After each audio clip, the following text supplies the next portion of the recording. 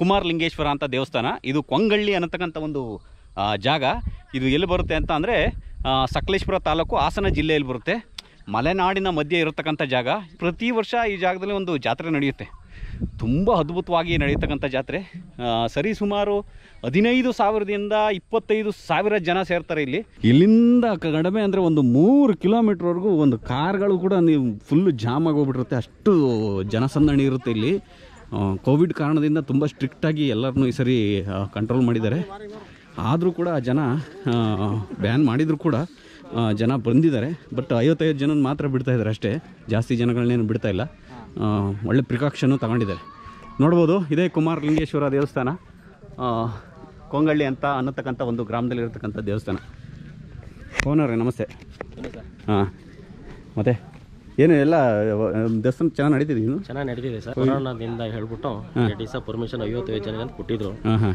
ಅಂದ್ರೆ ಈಗ ಬಂದ್ಬಿಟ್ಟು ಐವತ್ತೈದು ಜನ ಪೊಲೀಸ್ನವ್ರನ್ನ ಸೆಕ್ಯೂರಿಟಿ ಆಗಿ ಮಾಡ್ತಾ ಇದ್ದಾರೆ ನೀಟಾಗಿ. ಹೋದ ವರ್ಷಕ್ಕೆಲ್ಲ ಕಂಪೇರ್ ಮಾಡ್ಕೊಂಡ್ರೆ ಇದು ಈ ವರ್ಷ ತುಂಬ ಕಡಿಮೆನಾ? ತುಂಬಾ ಕಡಿಮೆ ಇದೆ. ಎಷ್ಟು ಜನ ಬರ್ತಿದ್ರು? ಒಟ್ಟು ವರ್ಷ ವರ್ಷ ಒಂದು ಇಪ್ಪತ್ತೈದು ಸಾವಿರ ಜನ ಅಷ್ಟು ಅಷ್ಟೊಂದು ಆಗ್ತಾರೆ. ತುಂಬ ಮನೆ ದೇವರಿಗೆ ಮನೆದವರೆಲ್ಲ ಸರ್ ಹೆಂಗೆ ಅಂತ ಹೇಳಿದ್ರೆ ಕೂಡ ಫುಲ್ಲು ಫುಲ್ ಅಂದ್ರೆ ಹೊಳೆನರಸೀಪುರ ಅರ್ಧ ಬರುತ್ತೆ. ಆಲೂರು ಫುಲ್ಲು ಹೌದಾ? ರಾಯರ ಕುಪ್ಲು ಮೈಸೂರು ಭಾಗ. ಸರಿ ನಮಗೆ ಶಿವಮೊಗ್ಗ ಉಡುಪಿಯಿಂದಲೂ ಜನ ಬಂದಿದ್ರು. ಹೌದಾ? ಇದ್ರ ಬಗ್ಗೆ ಇತಿಹಾಸ ಬಗ್ಗೆ ನಮ್ಮ ಅಧ್ಯಕ್ಷರು ಚೆನ್ನಾಗಿ ಮಾತಾಡ್ತಾರೆ. ಹೌದಾ? ಇತಿಹಾಸ ಇದೆಯಂತೆ? ದೇವಸ್ಥಾನದ ಬಗ್ಗೆ ಬನ್ನಿ ನೋಡೋಣ. ಕಲ್ಲಿನ ಮೇಲೆ ಕೆತ್ತನೆಗಳೆಲ್ಲ ನೋಡ್ತಾ ಇದ್ರೆ ಆಲ್ಮೋಸ್ಟ್ ಚೋಳರ ಕಾಲದ ಕೆತ್ತನೆಗಳು ಅಂತ ಅನ್ಸುತ್ತೆ ಇದು. ಬನ್ನಿ ದೇವಸ್ಥಾನದೊಳಗೆ ಹೋಗ್ಬೋಣ ಫಸ್ಟು ಆಮೇಲೆ ಮಾತಾಡೋಣ. ಇವರೇ ನಮಗೆ ಪ್ರಧಾನ ಅರ್ಚಕರು ನಾಗೇಂದ್ರ ಅಂತ ಉಚ್ಚಂಗಿಯವರು ಯಾವಾಗಲೂ ಇವರೇ ಬಂದು ಸೋಮವಾರ ಸೋಮವಾರ ಪೂಜೆ ನಡೆಯುತ್ತೆ. ಹೌದಾ? ಇವರೇ ಬಂದು ಪೂಜೆ ಮಾಡೋದು. ಸಮಯ? ಯಾವ ಸಮಯ? ಸಮಯ ಒಂಬತ್ತರಿಂದ ಹನ್ನೆರಡು ಗಂಟೆ. ಹಾಂ ಹಾಂ ಹಾಂ. ಶಿವನೇ ಅಲ್ವಾ ಇದು? ಹಾ ಶಿವ. ಹಾಂ ಹಾಂ ಹಾಂ. ಶಿವ. ಶಿವನ ಮುಂದೆ ನಂದಿ ಕೂತಿರೋದು ನಂದಿ ಗಂಡಿ ಕೂತಿ ನೋಡಿ ಅದನ್ನ ನೋಡ್ತಾ ಇದ್ದಾರೆ. ಹಾಂ ಹಾಂ. ನೋಡ್ಬೋದು. ಕುಮಾರಲಿಂಗೇಶ್ವರ. ಇದು ಇಲ್ಲಿರೋದು ಬರೀ ಮುಖನ? ಆ ಒಳಗಡೆ ಲಿಂಗ ಇದೆ ಇಷ್ಟೇ ಹೌದಾ? ಅದ್ರ ಮೇಲೆ ಇದು ಮಾಡಿದಿರಲ್ಲ ಹೌದು. ಇದು ಎಷ್ಟು ವರ್ಷದ ಇತಿಹಾಸ ಇದೆ ಇದು? ಇದು ಸುಮಾರು ಒಂದು ಐನೂರು ಆರ್ನೂರು ಏಳ್ನೂರು ವರ್ಷ. ವರ್ಷದ ಇತಿಹಾಸ ಇದೆ. ಚೋಳರ ಕಾಲದಲ್ಲಿ ಚೋಳರ ಕಾಲದ. ಹಾ ಹಾ ಹಾ ಹಾ. ಘಟ್ಟದ ಬಾಗಿಲು ದೊಡ್ಡಯ್ಯ ಅಂತ. ಇದಕ್ಕ? ಹಾ ಹಾ. ಹಾ ಕುಮಾರಲಿಂಗೇಶ್ವರದಲ್ಲಿ ದೊಡ್ಡನೇವನು ಹಾ ಹಾ ಹಾ ಹಾ ಅದಕ್ಕೆ ಹಿಂದೆ ಘಾಟ್ ಇದೆಯಲ್ಲ ಘಟ್ಟದ ಬಾಗಿಲು ದೊಡ್ಡಯ್ಯ. ಓ ಹಿಂದೆ ಘಾಟ್ ಇರೋದ್ರಿಂದ ಘಟ್ಟದ ಬಾಗಿಲು ದೊಡ್ಡ ದೊಡ್ಡಯ್ಯ. ಇದು ನಮಗೆ ಇದು ಹೇಳ್ಬೇಕು ಅಂದ್ರೆ ಅದೃಷ್ಟನೇ ಇರಬೇಕು. ಆಕ್ಚುಲಿ ಇಷ್ಟೊಂದು ಜನ ಸನ್ನಡಿ ಕಡಿಮೆ ಇದೆ. ಹೌದು ಹೌದು ಹೌದು ಕರೆಕ್ಟ್ ಕಡಿಮೆ ಇದೆ ಸರಿ. ಹಾಂ ಈ ಸರಿ ತುಂಬಾ ಕಡಿಮೆ ಇದೆ. ವಿಡಿಯೋ ಮಾಡೋಕ್ಕೂ ಕೂಡ ಅನುಕೂಲ ಆಯ್ತು. ಈ ಹಿಂಭಾಗಕ್ಕೆ ಬಂದ್ವಿ. ದೇವಸ್ಥಾನದ ಹಿಂಭಾಗ. ಕಂಪ್ಲೀಟ್ ಇಲ್ಲೇನು ಯಾವ್ದು ಊರಿಲ್ಲ. ಇದೆಲ್ಲ ಫುಲ್ ಕಾಡೇನಾ? ಫುಲ್ ಫಾರೆಸ್ಟ್ ಡಿಪಾರ್ಟ್ಮೆಂಟ್ ಕಾಡೆ ಸರ್. ಅಂದ್ರೆ ಇದಕ್ಕೆ ನಾವೀಗ ಭಕ್ತಾದಿಗಳು ಬಂದಾಗ ಪ್ರತಿಯೊಂದು ಪ್ರತಿಯೊಂದನ್ನು ವ್ಯವಸ್ಥೆ ಮಾಡ್ಕೊಟ್ಟಿದೀವಿ ಹೌದಾ?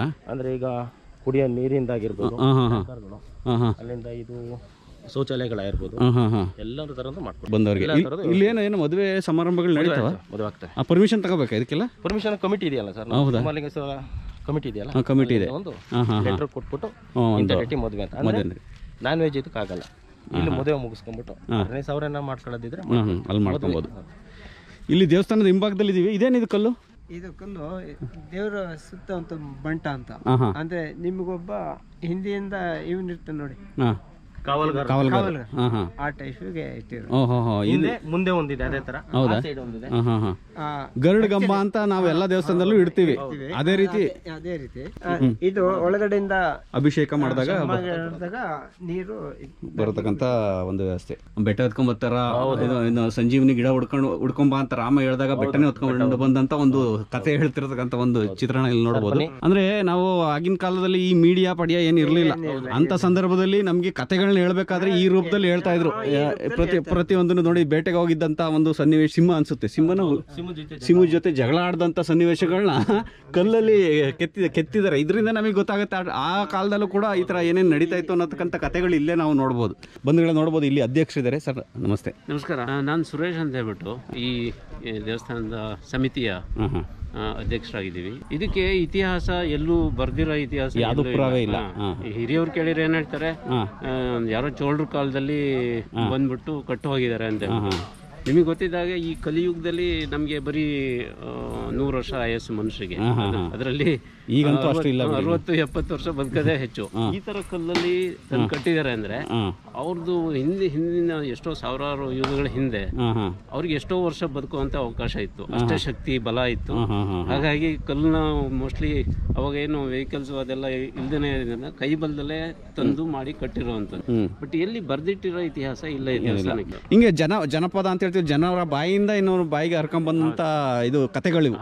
ಅದ್ರ ಮುಖಾಂತರ ಹೇಳ್ಬೋದು ಇದು ಒಂದು ಊಹೆ ಮಾಡ್ಬೋದು ನಾವು ಇಲ್ಲಿ ಇದೊಂದು ಚೋಳರ ಕಾಲದಲ್ಲಿ ಆದಂಥ ದೇವಸ್ಥಾನ ಅಂತ. ಹಾಂ ಇಲ್ಲಿ ಆಕ್ಚುಲಿ ನಾವು ಕೇಳ್ಪಟ್ಟ ಹಾಗೆ ಇದು ಕುಮಾರಲಿಂಗೇಶ್ವರ ಏಳು ಅಣ್ಣ ತಮ್ಮದಿರೋ ಇರೋದು ಏಳು ಜನ. ಇದು ಹಿರಿಯ ಹಿರಿ ಹಿರಿಮಗ ಅಂತ ಹೇಳ್ತಾರೆ. ಆಮೇಲೆ ಇನ್ನು ಉಳಿದಂತ ಆರು ಸಹೋದರರು ದೊಡ್ಕೊಂದೂರಲ್ಲಿ ಒಂದಿದೆ. ಶಾಂತಳ್ಳಿ. ಅದು ಬೇರೆ ಬೇರೆ ಕಡೆ ಹಂಚಿ ಹಾಂ ಹಾಂ. ನೆಲೆ ನಿಂತಿಲ್ಲ. ಬೆಂಗಳೂರು ಹಾಂ ಹಾಂ. ಆಮೇಲೆ ಇದು ಅದು ನಿಖರವಾಗಿ ನಮಗೂ ಅಷ್ಟು ಮಾಹಿತಿ ಇಲ್ಲ ಅಂತ ಏಳು ಜನ ಅಣ್ಣ ತಮ್ಮದಿರು ಇವರೇ ಅದರಲ್ಲಿ ಹಿರಿಯರು. ಹಾಂ. ಈ ಪು- ಈ ಈ ಕಡೆ ದಾಟಿದ್ರೆ ದಕ್ಷಿಣ ಕನ್ನಡ ಜಿಲ್ಲೆ ಬಾ ಬಾರ್ಡರ್ ಅದು. ಆ ಬಾರ್ಡರ್ ಅಲ್ಲಿ ಪುಷ್ಪಗಿರಿ ಅಂತ ಬೆಟ್ಟ ಇದೆ. ಆ ಬೆಟ್ಟದ ತಲಪಾದಿಂದ ಈ ದೇವರನ್ನ ಕುಕ್ಕೆಯಲ್ಲಿ ಹೊತ್ಕೊಂಡ್ ಬಂದಿರೋದು ಇದು ನಾಗರ ಮೂರ್ತಿ ನಾಗರ ಮೂರ್ತಿ ಕುಕ್ಕೆಯಲ್ಲಿ ಹೊತ್ಕೊಂಡು ಮೂಲತಃ ಈ ದೇವಸ್ಥಾನ ಇಲ್ಲಿಂದ ಅರ್ಧ ಕಿಲೋಮೀಟರ್ ದೂರ. ಅಲ್ಲಿ ಒಂದು ದೇವಸ್ಥಾನ ಸ್ಥಾಪಿಸಿದೆ ಹಿರಿಯರು. ಹಾಂ ಹಾಂ ಹಾಂ. ಅಲ್ಲಿ ಲಿಂಗ ಇದೆ. ಆ ಲಿಂಗ ಇಲ್ಲಿಯ ಹಿರಿಕರು ಹಿಂದೆ ಕೃಷಿಕರಾಗಿದ್ರಲ್ಲ ಉಳುಮೆ ಮಾಡುವಾಗ ಲಿಂಗ ಉಳುಮೆ ಮಾಡುವಾಗ ನೇಗ್ಲಿಗೆ ಸಿಕ್ತಂತೆ. ನೇಗ್ಲಿಗೆ ಸಿಕ್ಕಿ ಆ- ಈಗಲೂ ಇದಿದೆ ಲಿಂಗ ನೇಗ್ಲಿ ಸಿಕ್ಕಿ ಇದಿದೆ. ಇದೆ. ಐತಿ ಇದೆ. ಅದಕ್ಕೆ ಅಲ್ಲಿಯ ಆ ತಂಬಾಯಿಲು ಊರಿನವರು ಅಲ್ಲಿ ಪೂಜೆ ಮಾಡಿ ದೇವಸ್ಥಾನ ಹಿರಿಯರು. ಅದು ಸುಮಾರು ಒಂದು ನೂರಾರು ವರ್ಷದ ಹಿಂದೆ ನಡೆದಂತ. ಅಲ್ಲಿಂದ ದೊಡ್ಡಯ್ಯನವರು ಅಲ್ಲಿ ಬಂದು ಅಲ್ಲಿಂದ ದೊಡ್ಡಯ್ಯನವರು ಇದು ಚೋಳರ ಕಾಲದಲ್ಲಿ ಅಲ್ಲಿ ಮಾಡೋದಕ್ಕೆ ಅವಕಾಶ ಸ್ಥಳ ಇಲ್ಲ. ಸ್ಥಳ ಅವಕಾಶ ಅಭಾವದಿಂದ ಇಲ್ಲಿ ಎತ್ತರವಾದಂತ ಸ್ಥಳ ನೋಡಿ ಇಲ್ಲಿ ಪ್ರದೇಶ ಚೆನ್ನಾಗಿತ್ತು ಅಂತ ಹೇಳಿ ಇಲ್ಲಿ ಚೋಳರು ಕಟ್ಟಿಬಿಟ್ಟು ಇಲ್ಲಿ ಜಾತ್ರೆ ನಡ್ಕೊ ಇದು ಬೆಂಗಳೂರಿಂದ ಬರೋದಾದ್ರೆ ಯಾವ ಯಾವ ಜಾಗ ಹತ್ರ ಆಗುತ್ತೆ ಇಲ್ಲಿ ಜನಗಳಿಗೆ? ಒಂದು ಇನ್ನೂರ ಅರವತ್ತು ಕಿಲೋಮೀಟರ್ ಆಗುತ್ತೆ. ಬೆಂಗಳೂರಿಂದ ಚಂದ್ರಾಯಪಟ್ಟಣದಲ್ಲಿ ಡಿವಿಷನ್ ತಗೊಂಡು ಚಂದ್ರಾಯಪಟ್ಟಣ ಹೊಳೆ ನರಸೀಪುರ ಅರ್ಕುಲ್ಗೋಡು ಹ್ಞೂ ಆ, ಚಂಗಡಳ್ಳಿ ಮೇಲೆ ಕೂಡ ರಸ್ತೆಗೆ ಬಂದ್ರೆ ಕೂಡ ರಸ್ತೆಯಿಂದ ಒಂದ್ ಕಿಲೋಮೀಟರ್ ದೂರದಲ್ಲಿ ಅಂದ್ರೆ ಹಾಸನ್ ಬಂದು ಸಕಲೇಶ್ಪುರ ಬಂದು ಕಿಲೋಮೀಟರ್ ಜಾಸ್ತಿ ನೋಡೋದು ನೀವು ಸುತ್ತಮುತ್ತ ಒಂದು ಕಾಡಿನ ನಡುವೆ ಇರತಕ್ಕಂಥ ಒಂದು ದೇವಸ್ಥಾನ. ಒಂದು, ಏನಾದರೂ ಒಂದು ಒಂದು ರ್ಯಾ ಬರ್ತಾರೆ. ಬಹಳಷ್ಟು ಜನ ಬೆಂಗಳೂರಿಂದ ಎಲ್ಲ ಸುತ್ತಾಡಕ್ಕೆ ಬರ್ತಾರೆ. ಬೈಕರ್ಸ್ಗಳಾಗಿರ್ಬೋದು ಅವರು ಇವರು. ಒಂದು ವಿಶೇಷವಾದಂಥ ಒಂದು ದೇವಸ್ಥಾನ ಇಲ್ಲಿ ಬಂದರೆ ಒಂದು ನಿಮಗೆ ಆ ಪ್ರಕೃತಿ ಸೌಂದರ್ಯ ಕೂಡ ನೋಡ್ಬೋದು. ಅದೇ ಜೊತೆ ಇಲ್ಲಿ ಕುಮಾರಲಿಂಗೇಶ್ವರ ದೇವರ ಒಂದು ದರ್ಶನನೂ ನೀವು ಮಾಡ್ಕೊಂಡು ಹೋಗ್ಬೋದು. ಸಾಧ್ಯ ಆದಷ್ಟು ಇಲ್ಲಿಯ ಸ್ಥಳೀಯರಿಂದ ಈ ದೇವಸ್ಥಾನದ ಬಗ್ಗೆ ಮಾಹಿತಿಯನ್ನು ಸಂಗ್ರಹಿಸೋ ಪ್ರಯತ್ನ ಮಾಡಿದ್ದೀವಿ. ಪುರಾವೆಗಳು ಇಲ್ಲದೇ ಇರೋ ಕಾರಣ ಜನರಿಂದ ಜನರ ಬಾಯಿಗೆ ಹರಿದು ಬಂದಂಥ ಕಥೆಗಳನ್ನ ಸಂಗ್ರಹಿಸಿ ಈ ದೇವಸ್ಥಾನದ ಬಗ್ಗೆ ಮಾಹಿತಿ ಕೊಟ್ಟಿದ್ದೀವಿ. ನಿಮಗೆ ಈ ವಿಡಿಯೋ ಇಷ್ಟ ಆಗಿದೆ ಅಂತ ಅನ್ಕೊತೀವಿ. ಮತ್ತೆ ಸಿಗೋಣ ಮುಂದಿನ ವಿಡಿಯೋದಲ್ಲಿ. ಎಲ್ರಿಗೂ ಒಳ್ಳೆಯದಾಗಲಿ ಜೈ ಹಿಂದ್. ಜೈ ಕರ್ನಾಟಕ ಮಾತೆ.